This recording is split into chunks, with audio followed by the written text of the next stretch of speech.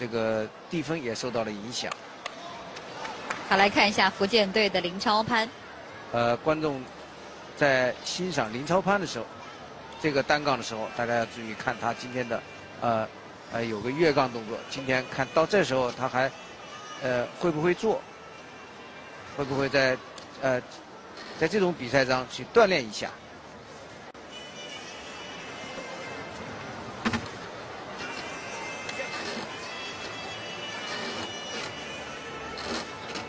来了，好，他完成了一个一组的啊空翻越杠动作。以前中国男队是不太采用这个动作，因为我们要打团体，这样的话不是特别熟练，会导致整个的队伍的问题。所以今天他是很好的完成，说明他在这个动作上还是有足够的把握。刚才这个动作是团身三百。呃，六十度的顺月杠，我们可能看到欧美运动员做的比较多，但是中国队很少做这么难的动作。